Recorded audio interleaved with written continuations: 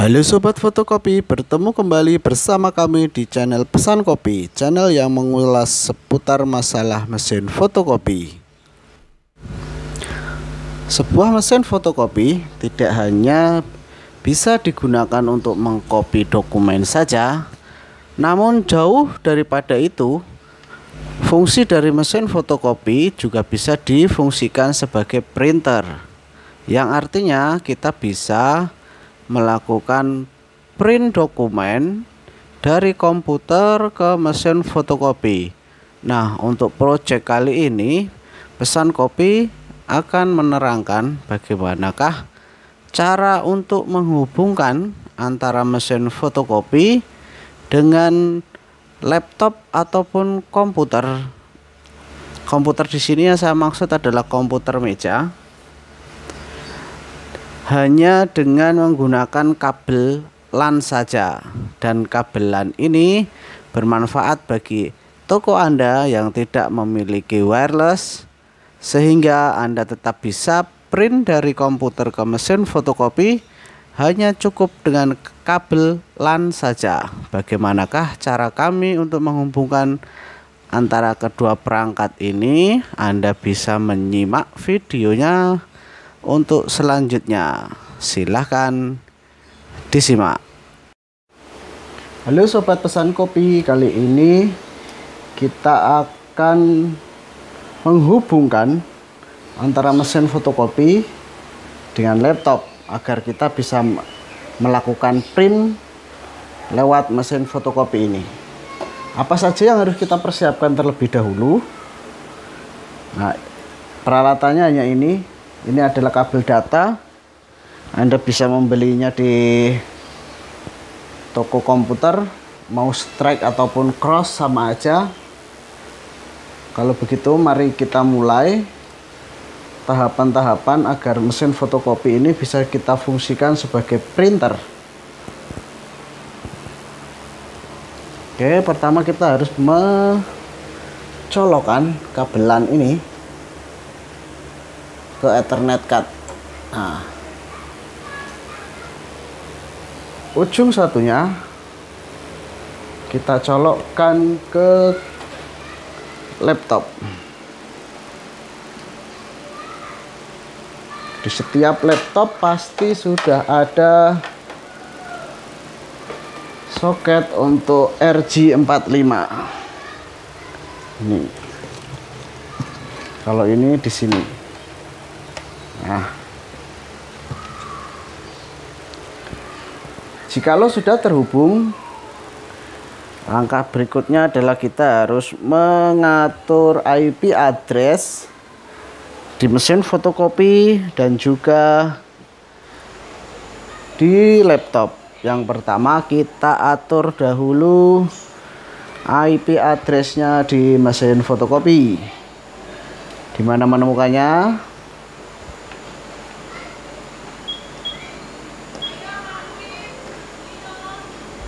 Tekan additional function.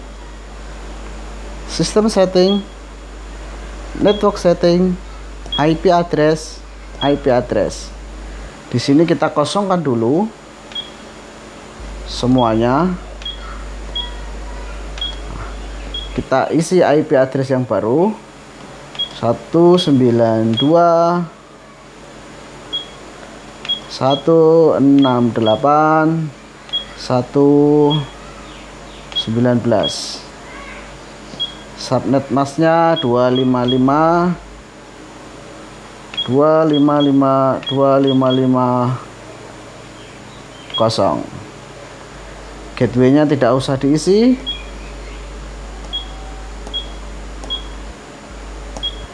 Kemudian kita beralih ke komputer. Kita atur juga IP addressnya. Di letaknya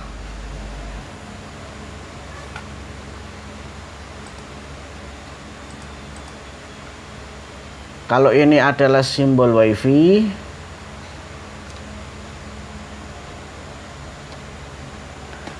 kita klik saja yang di sini. Open network and sharing center.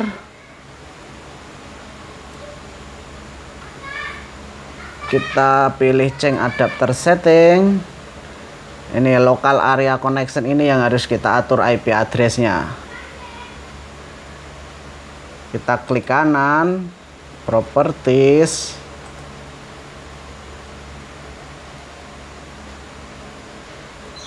Nah, di sini ada IP4 protokol, kita klik kemudian properties. Kalau di mesin fotokopi tadi IP-nya 19, di sini harus kita bedakan. Kita kasih 17 saja. 192 168 17 maaf 192 168 117 subnet masnya biasanya otomatis 255 255 255 kalau kurang jelas nanti tak berikan angkanya. Kemudian di oke OK. close. Nah.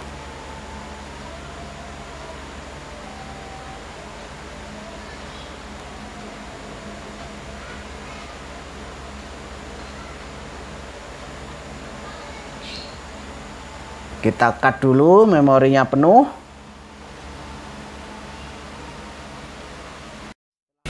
setelah kedua IP address dari mesin fotokopi dan laptop sudah kita setting kita matikan dulu sejenak ya kira-kira 5 detik sampai 10 detik dihidupkan kembali.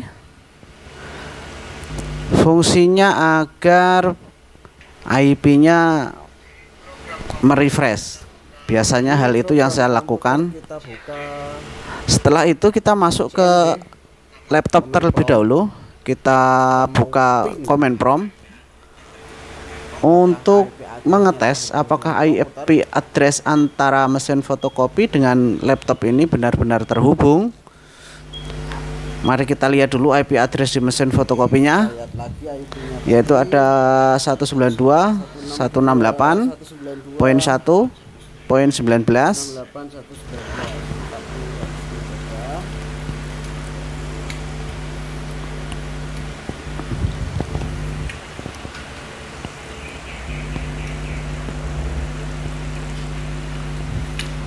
Jika Anda tidak tahu cara menampilkan command prompt, Anda tinggal mengeklik simbol Windows-nya, ketik aja CMD maka akan muncul jendela command prompt kita ketik saja ping. 192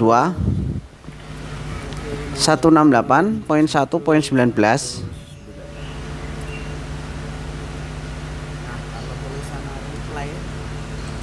kemudian diklik enter jika muncul tulisan reply from host seperti ini artinya IP address mesin fotokopi sudah terhubung dengan komputer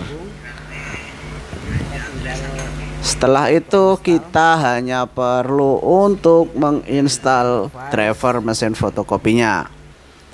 Anda terlebih dahulu harus mencari drivernya di Google sangat banyak. Driver Canon IR 3300. Klik add printer. Kemudian pilih yang pilihan kedua yang wireless Bluetooth. Tinggal diklik nanti mesin fotokopi IP-nya akan langsung terbaca. Nah tampak di gambar 192.168.1.19 itu adalah IP mesin fotokopinya Tapi sebelumnya kita klik next. ya,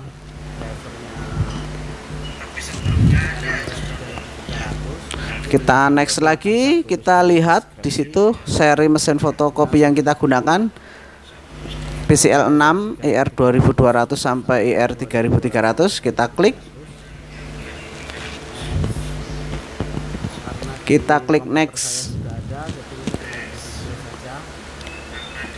Karena di laptop saya sudah ada drivernya jadi saya replace saja kita next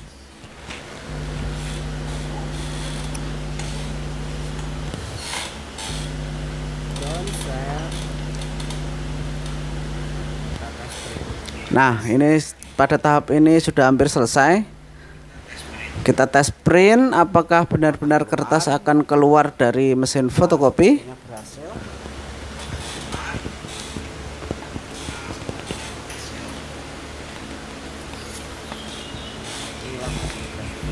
Ah, ternyata keluar. Jadi sampai di sini mesin fotokopi Anda sudah bisa difungsikan sebagai printer. Nah, sebagai catatan tambahan bagi Anda yang baru pertama kali komputernya ingin diinstal driver mesin fotokopi, Anda bisa mendownload kemudian hasil downloadnya itu langsung ada langsung Anda install. Nanti akan masuk ke pilihan browsing IP address seperti yang di laptop saya tadi. Nah, demikian cara untuk menghubungkan komputer ke mesin fotokopi. Jangan lupa meninggalkan jejak dengan klik subscribe dan tombol loncengnya agar Anda selalu mendapatkan refresh update semua permasalahan mesin fotokopi. Terima kasih.